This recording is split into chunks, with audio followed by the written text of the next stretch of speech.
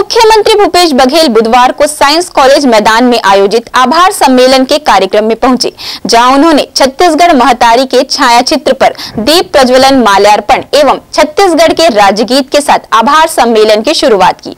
प्रदेश भर से सम्मेलन में शामिल होने आए कोटवार संघ के प्रतिनिधियों ने गजमाला पहनाकर मुख्यमंत्री के प्रति आभार व्यक्त किया।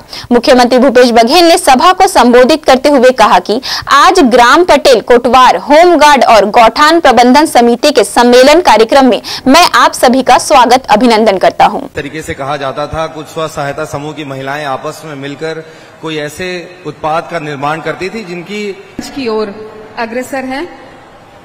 हम सभी से आग्रह करेंगे कि जोरदार तालियों की आवाज़ के साथ माननीय मुख्यमंत्री महोदय का स्वागत और अभिनंदन करें। और इसके साथ ही माननीय मुख्यमंत्री महोदय से निवेदन छत्तीसगढ़ महतारी की प्रतिमा पर पुष्पांजलि अर्पण दीप प्रज्वलन के लिए। साथ में हम निवेदन कर रहे हैं, आज के समारोह के माननीय अध्यक्ष, माननीय कृषि मंत्री श्री रविंद्र चौबे जी से और साथ ही में हैं नंद कुमार साय जी और हमारे अन्य अति विशिष्ट अतिथिगण।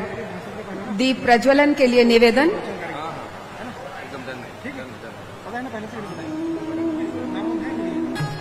ये एक ऐसी घड़ी है जब सभी हमारे गोठान प्रबंधन समिति, कोटवार, ग्राम पटेल और नगर सैनिक अभिभूत हैं। माननीय मुख्यमंत्री महोदय की जो सफल योजनाएँ हैं, जो उनको लाभान्वित कर रहे हैं, उसके लिए आभार व्यक्त कर रहे हैं। आज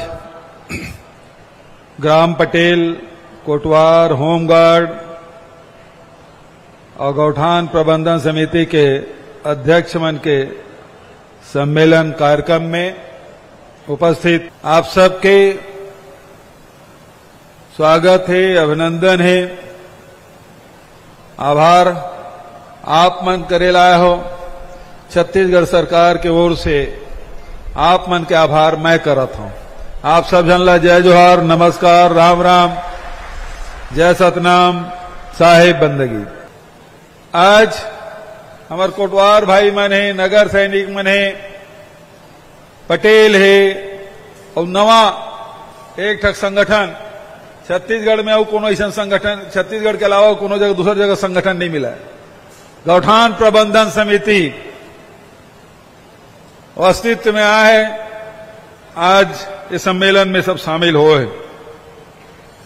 ग्रामीण अर्थव्यवस्था में, ग्रामीण व्यवस्था में कोटवार के, पटेल के बहुत महत्वपूर्ण भूमिका शासन चलाए में,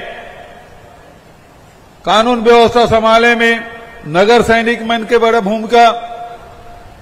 अब ग्रामीण अर्थव्यवस्था संभाले में हमारे गौठान समिति के बड़े भूमिका तय होने वाला है।